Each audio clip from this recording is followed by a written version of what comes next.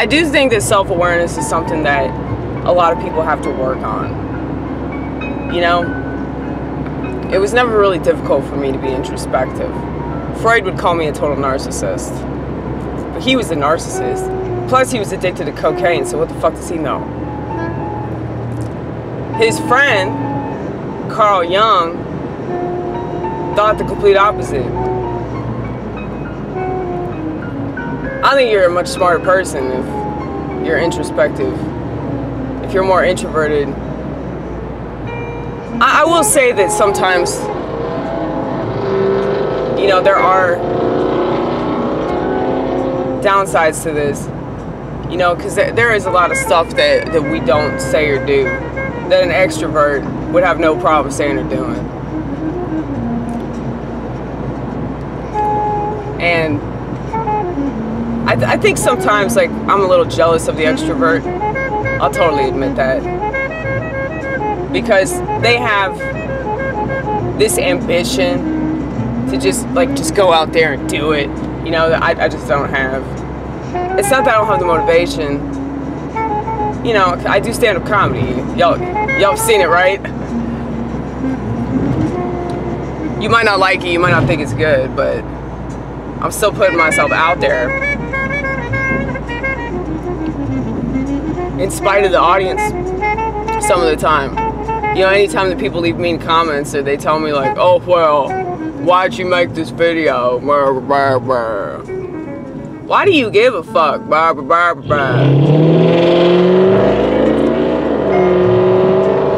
So annoying. Like, why do they make cars like that? Can they just stop making cars like that?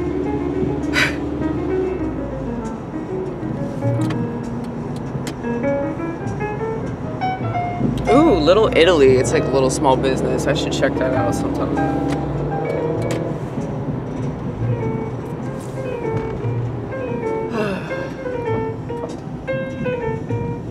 I wonder if this uh, thing that they're trying to install in all the cars, I wonder if it's gonna keep you from speeding. That would suck.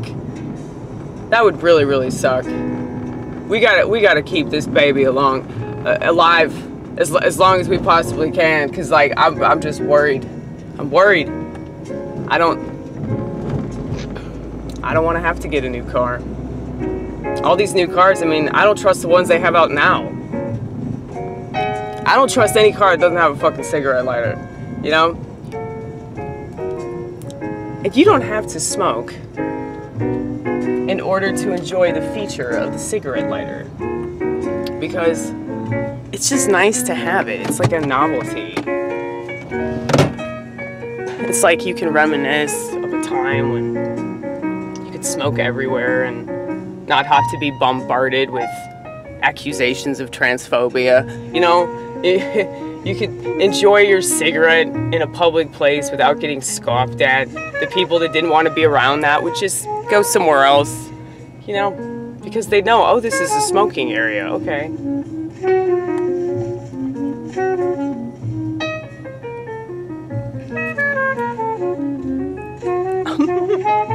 My smoothie mouth, baby. There's no point in me doing this because I still have the rest of it to consume. Um, but yeah.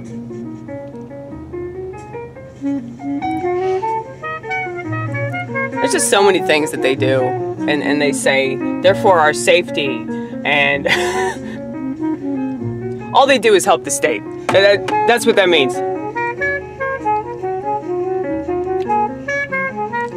And keep in mind, all these motherfuckers that want to make money are going along with the government. So this has been corporate fascism or whatever the fuck you want to call it. It's been this way for a long, long time. You know, the businesses have to go along with the government because if they don't, they run the risk of losing their business. I read this all these all these businesses had to put a blue eagle in their their the window of their shop. You know, during the war, they had to do that shit. Because if they didn't, I mean, it's it's not just like because of government though. If you think about it, if people think that the government's right and they go along with what the government's doing, then there's a sense of shame, you know. So it's also like it's a mind fuck. You know, it's a psychop.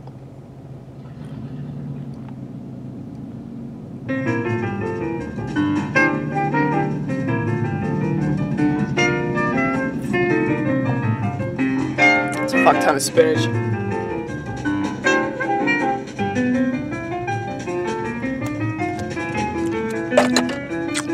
Fuck ton of spinach, fuck ton of ginger.